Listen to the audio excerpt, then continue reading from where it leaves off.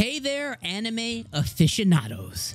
Throw on your coziest blankets and get ready for a winter anime wonderland. We're saying see you later to returning faves like Frieren, Tsukimichi, Classroom of the Elite, and more. And we're diving headfirst into a snowdrift of only brand new anime coming your way in winter 2024. So, no reruns here, just fresh flakes of anime goodness. And hey, don't forget to smash that like button to show some love for your favorite otaku dom and your favorite otaku channel. All right, let's jump in in no particular order to the 10 anime you need to watch this winter 2024. Number one, my instant death ability is so overpowered, no one in this world stands a chance against me. Imagine snoozing your way through a class trip and waking up in another world. Classic, right? Yogiri Takatou did just that, missing out on the superpower giveaway and ending up dragon bait. But who needs a gift when you can just think someone's death? Let's see if Yogiri can stay awake long enough to use his power of death thinking, or if he'll just nap through the next apocalypse. At number two, we have Sasaki and Peeps. Sasaki's midlife crisis leads him to Peeps, a bird, but not just an average bird. He is a mage from another world. Yep, you heard that right. This unlikely duo is set for a magical journey. Can Sasaki handle the wizardry and wonder, or will he just end up wishing he got in a goldfish? Number 3. The wrong way to use healing magic. Usato gets the short end of the summoning stick and finds himself in a fantasy world with a knack for healing. But who knew healing magic could be so freaking hardcore? Will Usato's self-healing training pay off, or will he just become the world's buffest nurse? We're going to find out this season. At number four, a sign of affection. Yuki, a deaf college student, meets Utsumi, who shows her the world in ways she's never imagined before.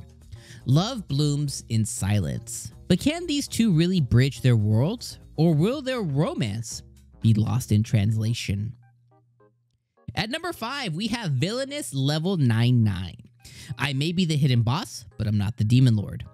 Yumiella Dolkness, the introverted gamer turned villainess, accidentally grinds her way to being mistaken for the Demon Lord. Will her overpower self manage to dodge the heroes and live a quiet life?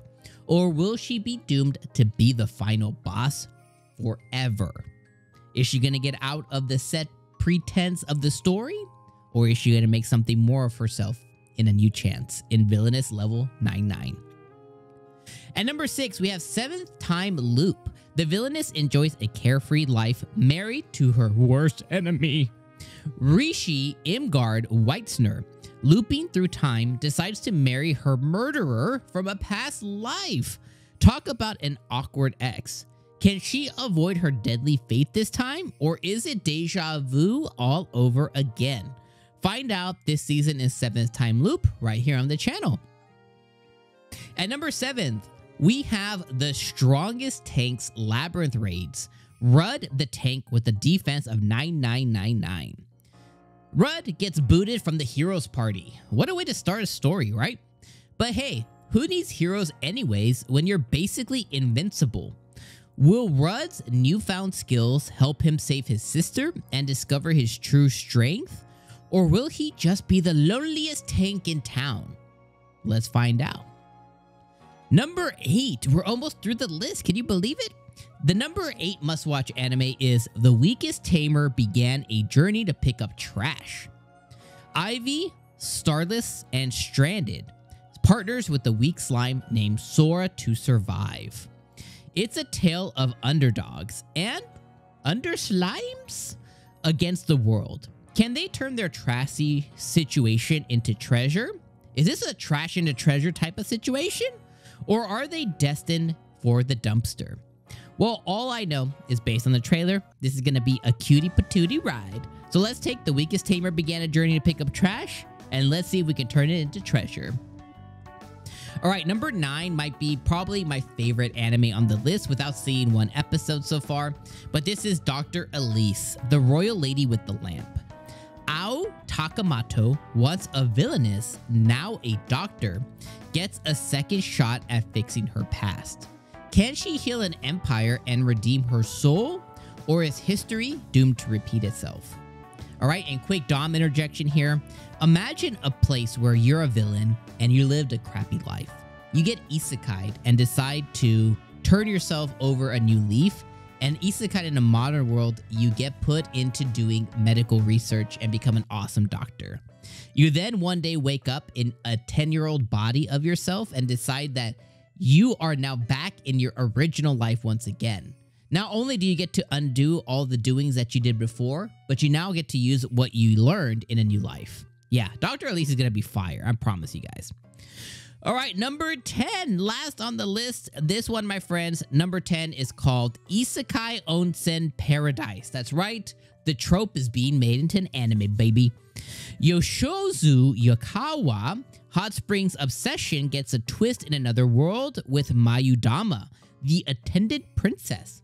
Surrounded by furry-eared and elven girls in steamy springs, will he find the ultimate ecchi onsen or a lot of awkward encounters? All I know is hashtag booba. All right, my friends, that was all 10. So which of these frosty fresh anime are you warming up to this winter?